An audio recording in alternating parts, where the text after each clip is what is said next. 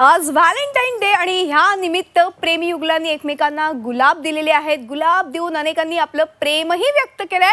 त्यासाठी बाजारपेठेत गुलाब अव्वाच्या सव्वा किमतीलाही विकले गेले पण गुलाब उत्पादकांना व्हॅलेंटाईन पावलाच नाही.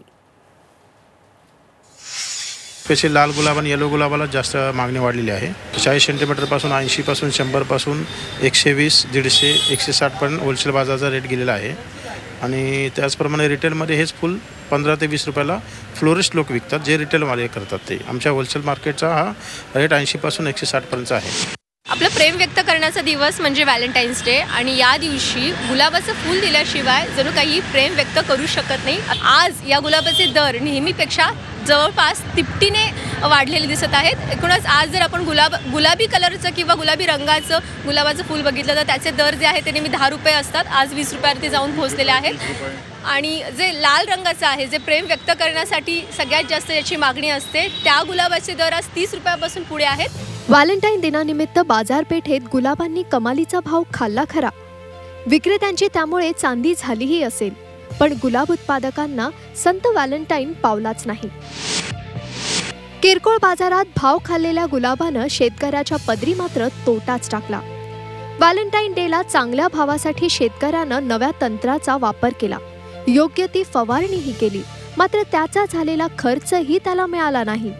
आजचा व्हॅलेंटाईन डे असून सुद्धा जे मोठे जे बंडल आहेत आमचे वीस फुलांचा बंडल असतो त्याला एकशे वीस एकशे तीस रुपयांनी सध्या व्यापारी मागताय.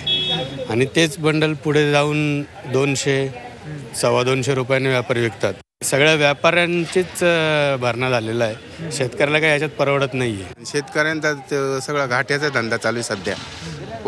पॉलिहाऊसला इतका खर्च येतो की त्याचा खर्चसुद्धा वसूल होत नाही. आणि निर्यातसुद्धा बंद केलेली आहे सरकारने तर ती निर्यात चालू करावी आणि शेतकऱ्यांना फायदा होईल अशी गोष्ट करावी. आज ज्या अपेक्षा होत्या की व्हॅलेंटाईन डेमुळे चांगला बाजारभाव मिळेल त्या अक्षरशः फोल ठरलेल्या आहेत. मार्केट भाव एकदम कमी आहे. जर उत्पादन खर्च पाहता आणि असा जर मार्केट भावा बाजारभावाची स्थिती पाहता शेती फुलशेती ही परवडण्याजोगी राहिलेली नाही. व्यापारी शेतकऱ्यांकडून पाच ते सहा दिवस आधी गुलाब घेऊन ते कोल्ड स्टोरेजमध्ये ठेवतात. त्यामुळे व्हॅलेंटाईन डेला गुलाबाला बाजारभाव कमी आहे.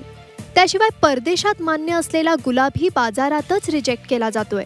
त्यामुळे शेतकऱ्यांना फटका बसलाय.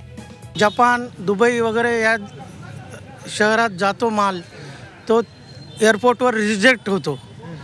त्याचा फटका शेतकऱ्यांना बसतो. शेतकऱ्यांना बसल्यानंतर व्यापाऱ्यांना पण बसतो. का जो माल तिकडं दोनशे अडीचशे रुपये बंडल जाणारा होता तो आज इथं शंभर रुपये तर आमच्या कस्टमर हे कमी होतं आहे आजच्या दिवशी चांगला भाव मिळण्याची अपेक्षा होती पण झालेला खर्चही निघाला नाही. तर व्यापाऱ्यांची आणि किरकोळ विक्रेत्यांची मात्र चांदी झाली. त्यामुळे जगात प्रेम दिन साजरा होताना गुलाब फुलवणारा शेतकरी मात्र उदासच राहिला. मुंबईहून मेघा कुचिक पुण्याहून अश्विनी पवारसह किरण ताजणे झी मीडिया नाशिक. झी चोवीस तास. रहा एक पाऊल पुढे.